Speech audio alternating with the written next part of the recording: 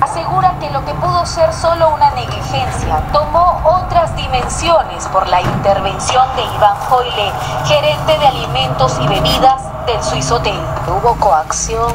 Claro, por parte del hotel el señor Iván Hoyle nos dijo de que qué es lo que teníamos que decir, qué es lo que teníamos que hablar, en el caso de que eh, alguna prensa u otra nos pregunte.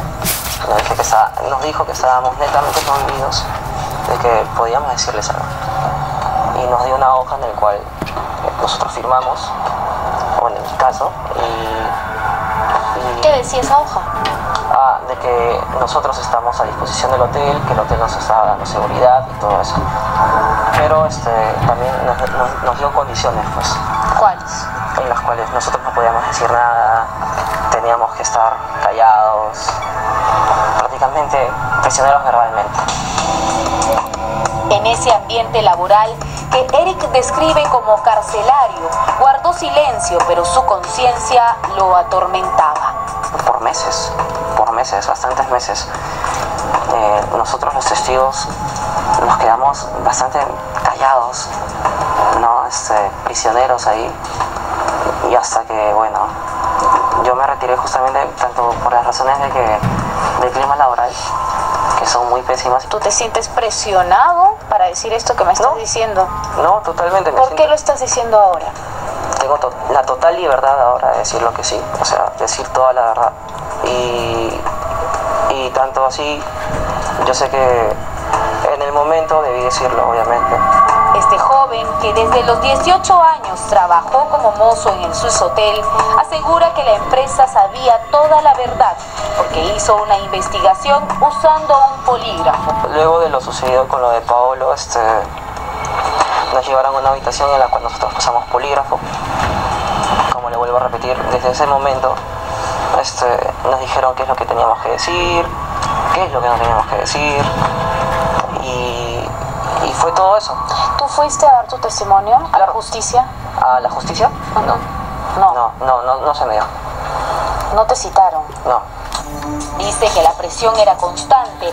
Incluso habrían sido obligados a escribir y a aprenderse una versión alejada de la verdad.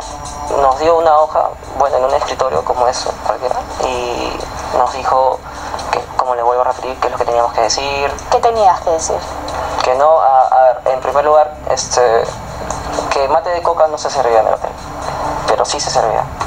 Pasó lo de Paolo y lo quitaron todo, pero nos dijeron que nunca habíamos servido un mate de coca en el hotel. Eso tenías que decir. Eso tenía que decir. ¿Qué más? y que no diga nada ante la prensa. Hubo un día en el cual el señor Iván se reunió con todos, que iba a haber este, una entrevista directamente con Pablo Guerrero y su abogado. El día en el que ocurrió eso, bueno, yo subí con el señor Iván Hoyle y me entrevisté directamente con, con Pablo Guerrero. ¿Por qué no dijiste la verdad? Es que pasa de que, pasa de que yo había subido con el señor Iván y el señor Iván Hoyle, él estaba prácticamente detrás mío.